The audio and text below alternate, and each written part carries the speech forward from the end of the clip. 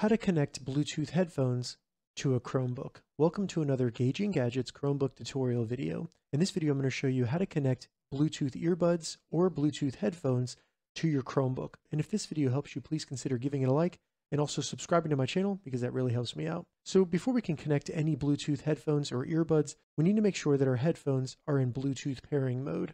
And you can usually easily do this by simply holding the power button on your earbuds or your headphones until they turn on, and then continue to hold the button until you see them start blinking.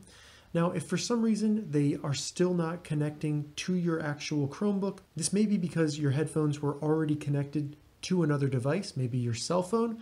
So simply turn off the Bluetooth on that device or turn that device off completely, and then your earbuds or headphones should go into pairing mode. Once our headphones or earbuds are in pairing mode, all we need to do on our Chromebook is simply go down, select the clock. Once this opens, go up and you see Bluetooth right here. If you don't see it, you may have to swipe to the left or right. Where you see Bluetooth, go ahead and select the arrow next to Bluetooth, and this will bring you into Bluetooth here.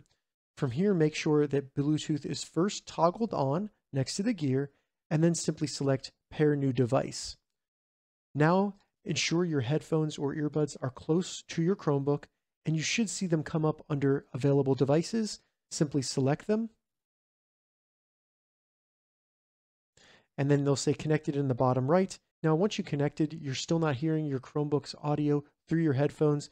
Go down, select the clock, and then next to the volume over here, select the arrow and just ensure as the output, you have the Bluetooth headphones selected. You can also do the same thing for input down here if your headphones or earbuds have a microphone. All right, so that's how you connect Bluetooth headphones to a Chromebook. If you have any questions about this, leave a comment below. I'll get back to you as soon as I can.